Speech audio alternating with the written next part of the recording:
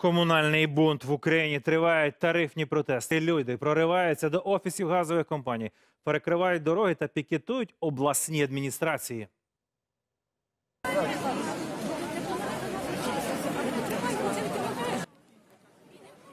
Декілька десятків людей пікетували міську раду Кропивницькому. Вони збирали підписи під зверненнями до чиновників з питаннями, чому тарифи підвищили. Аналогічні пікети відбулися у Вінниці, Херсоні, Краматорську та Полтаві. А в Сумах очільник міста скликає робочу групу та звертатиметься до урядовців депутатів, аби ті повернули торічні тарифи.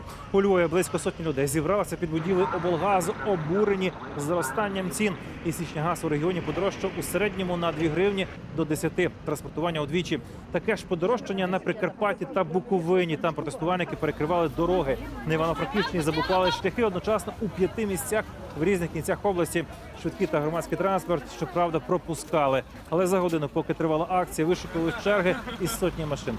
На Буковині люди ходили по пішохідних переходах у чотирьох селах одночасно. Заблокували проїзд на Івано-Франківськ та Чернівці. Дороги були непроїзними приблизно по дві години.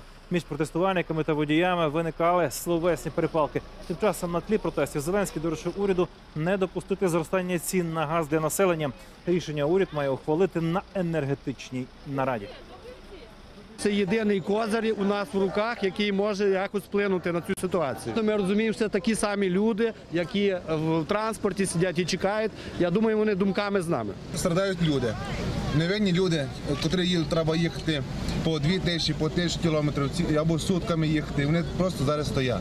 Для чого це? Я не розумію. Ідіть десь, май до верхів туди, там собі добиваються.